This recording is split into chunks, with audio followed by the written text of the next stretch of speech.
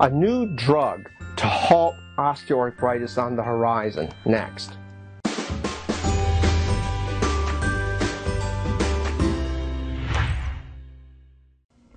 New jab to halt wear and tear in your knee joints. Drug halts osteoarthritis progression. Roger Dobson, writing in the Daily Mail, reported a simple jab could be the first treatment to halt the progression of osteoarthritis. Early studies suggest this new drug, a form of antibody, tackles the disease itself rather than the symptoms alone. The new injection, based on antibodies from the immune system, acts on one of the key players of the condition, a compound called interleukin 1 or IL 1.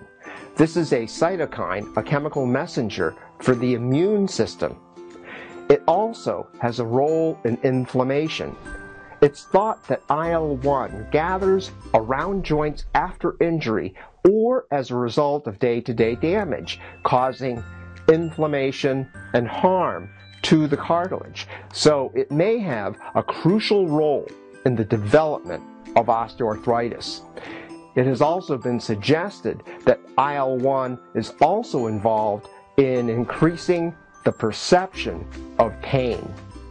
The new drug known as ABT981 is an antibody that blocks the activity of the harmful cytokine and is injected into the joint area.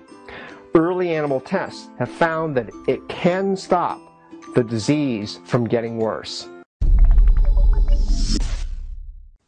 My comment, it will be interesting to see if further trials support the initial hype. Thanks for watching.